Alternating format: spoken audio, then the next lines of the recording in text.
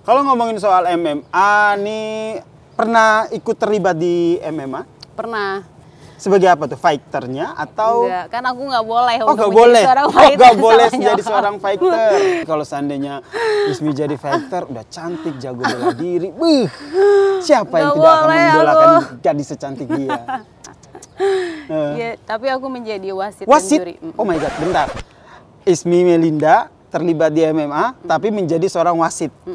Orang berantem, kamu yang lerai. Iya, iya. Wah, itu gimana tuh ceritanya? ini, ini seru nih pasti. Iya, tapi untuk menjadi seorang wasit dan juri di sebuah apa namanya sebuah pertandingan itu kan nggak bisa yang kita masuk aja, Betul. tapi ada pelatihannya juga. Terus kita harus mendapatkan sertifikatnya juga di mana kalau misalkan sertifikatnya bagus dan lulus. Eh, baru kita bisa diikut sertakan untuk menjadi wasit dan juri karena tanggung jawabnya lumayan besar ya. Iya dong, itu karena kan apalagi- menjadi wasit, apalagi menjadi wasit kita harus bertanggung jawab atas fighter-fighter gitu kan. Jangan sampai fighter-fighter eh, loss gitu loh. Nah itu kita harus menjaga itu karena itu tanggung jawab kita sebagai wasit dan juri. Prosesnya lama nggak akhirnya bisa menjadi eh, wasit di acara pertandingan MMA? itu? Lumayan lama karena kan basically aku punya silat. Mm-mm. Aku mempelajari dari dulu silat. Nah, sedangkan di One Fight itu kan lebih yang kita harus kuasain adalah boxing, Betul. Muay Thai, Brazilian Jiu-Jitsu di mana itu kuncian-kuncian kita harus hafal itu kalau nggak salah sekitar 70 berapa gitu kuncian-kunciannya. Kuncian yang kamu harus hafal, semua hafal itu. dan harus harus tahu tekniknya, harus Hmm. tahu harus tahu merasakannya seperti apa gitu. Karena kalau kita nggak tahu dan kita nggak merasakan itu, Hmm. kita bagaimana kita bisa melihat fighter yang memang eh, misalkan si sesama fighter ini ada Lagi- kuncian yang memang ada di yang tadi aku bilang Hmm. itu.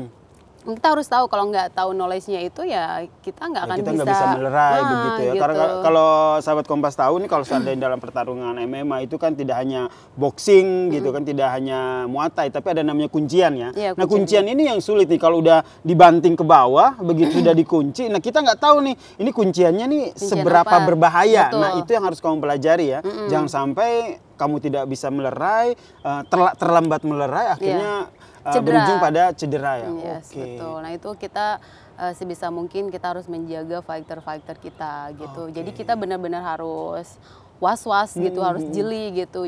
Justru yang kita harus apa namanya jaga itu bukan orang yang menguncinya, tapi Betul. yang dikuncinya. Yang dikunci, betul. Karena takutnya dia kalau misalkan matanya udah ke atas itu otomatis mereka udah udah apa hampir namanya hilang udah kesadaran hampir- ya. hampir Apalagi dia telat out. ngepok begitu kan. Nah gitu. Jadi kita harus kayak sebisa mungkin deket sama mereka gitu kan untuk kasih tahu kayak misalkan fighter tap out fighter out, tap kita out, harus tap out. harus harus Hmm. ngingetin terus karena Ngingetin. Hmm, kan takutnya dia masih kayak adrenalinnya kuat nah itu itu yang mesti harus kita pelajari. Pelajari. jadi menurut aku jadi wasit dan juri itu kita harus benar-benar fokus bukan hanya kita harus eh, tahu knowledge-nya tentang Hmm. kuncian dan teknik-teknik bela diri gitu. Dan sepanjang sepengetahuan saya, pengalaman saya untuk uh, nonton, saya kan juga suka juga ya nonton pertarungan MMA gitu kan.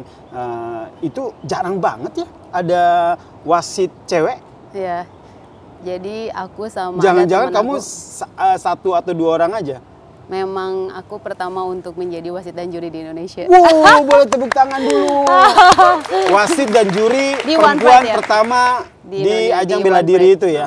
Luar biasa. Itu waktu ditawari langsung mau atau gimana tuh? Langsung mau. langsung mau. Heeh. Oke, siap gitu. Sebelumnya justru silat bebas. Ah, silat Ada bebas. silat bebas. Nah, Ah. waktu itu silat bebas kan dia lebih ke silat ya. Ah. Begitu, begitu misalkan seorang fighter, kalau silat bebas peraturannya kan beda-beda kan. Mm-hmm. Kalau di silat bebas itu begitu kita uh, seorang fighter itu ke bawah gitu, apa namanya dia jatuh, itu kita udah cut. Udahan. Udah, maksudnya udah stop gitu. Ah, ground ada fighting. pengalaman seru nggak saat menjadi wasit? Ada sih. Aku pernah yang. Apa? memang salah waktu itu. Oh, salah. Salahnya apa nih? jadi waktu itu kan eh ya namanya juga Iya, manusiawi ya, benar-benar nggak manusia, sempurna. Jadi betul. jadi waktu itu memang ada kesalahan eh, di mana sebelumnya, jadi kan harusnya tuh lima menit terakhir sebelum sebelum stop gitu Hmm. kan, karena memang udah waktunya gitu. Ada lonceng dulu tuh, Iya, betul. ada kayak tok tok tok Oh, gitu iya, tuh yang kayak penanda sebelum penanda akhirnya sebelum selesai. selesai. Nah Ah. itu aku udah stop dulu. Kamu udah stopin duluan? tapi aku nggak nyampe begini tapi langsung kan ada Oh, kita kan ada. dikasih tahu kan sama apa namanya inspektur pertandingan yang itu waktu itu ada Bang Max gitu. Mi jangan dulu Mi jangan dulu tapi aku itu tuh kayak hilang fokus gitu. Jadi kita bener-bener harus fokus, harus fokus sih. ya. Ngomong-ngomong soal hilang fokus, ada nggak sih petarung-petarung yang sudah siap bertanding begitu hilang fokus karena ternyata wasitnya secantik kamu? Coba ini.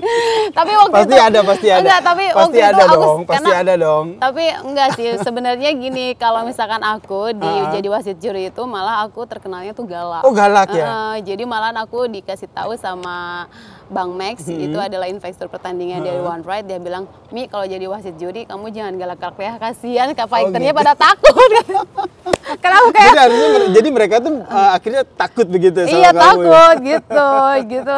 Cuman aku bilang oh iya oke oke jadi aku mereda hal itu Ah, gitu. ah, ah. Pengalaman lain apa tuh selain tadi? Eh, biasanya kan kalau lagi melerai, apalagi pertandingannya tuh didominasi dengan boxing dan muay thai. Hmm. Kamu pernah nggak sih kayak tiba-tiba kepukul atau ketonjok gitu s- Jangan sesama sampai ya. Oh, Jangan belum pernah sampai, berarti? Belum pernah. Belum Tapi kalau misalkan kayak darah muncrat ke sana sini sih Oh, udah biasa. Hmm. Itu udah biasa ya, iya. Karena pertandingan itu tuh kalau sahabat Kompas TV nonton gitu pertandingan-pertandingan kayak boxing, muay thai yang tidak menggunakan pelindung muka, Ah. itu tuh pasti udah apa ya darah tuh udah biasa-biasa ya.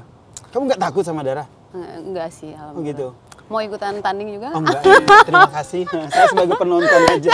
Saya kita butuh fighter loh. Oh gitu. Enggak, saya cukup menjadi Cukup seorang penonton. penonton saja. Atau kira-kira ada petarung-petarung yang kece untuk kita undang di sini Oh, gitu iya, kan bisa. Kemarin aku undang Bang Oh, Didi Bang Golden Rudy Boy loh. ya. Iya, dia kan petarung juga Iya. kan. Gitu. Mungkin sudah tidak asing lagi ya dengan wajah satu ini. Mungkin Ayo, udah- udah bosan lihatnya di mana? udah bosan. Bosannya kenapa, Bang? Muncul terus kayaknya. Muncul terus ya. Kita perkenalkan Bang Rudy Siap. Golden Boy. Dulu aku sempet sama Mas Rudi itu di mm, One Champion. One Championship. Mm. Oke. Jadi yang Asia itu aku pernah. Itu kamu jadi apa sih tuh? Aku jadi situ jadi host sih. Oh, jadi hostnya. itu. Wih, udah ke mana-mana ya. Ini luar biasa nih multi talenta kita.